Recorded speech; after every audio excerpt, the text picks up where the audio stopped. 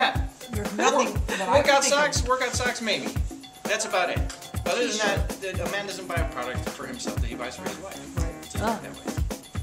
Ah. So, but in general, do you like the idea of shapewear for men? Well, sure. Huh? Put in your gut. I don't know what you're talking about treadmill and you're you worry that you might stink? What about yeah? What about shapewear with um, protection, sweat protection?